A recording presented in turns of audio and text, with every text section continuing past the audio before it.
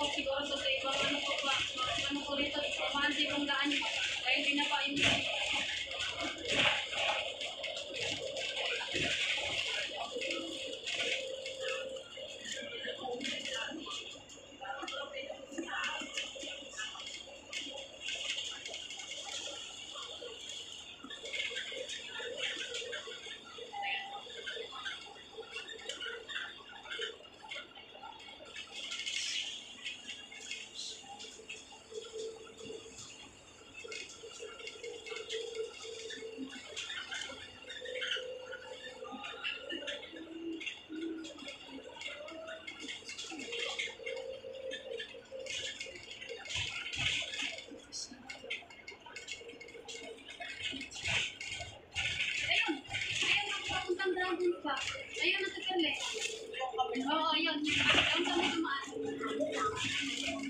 Pag pumunta ng Dragon Park, ay, o, doon na tayo.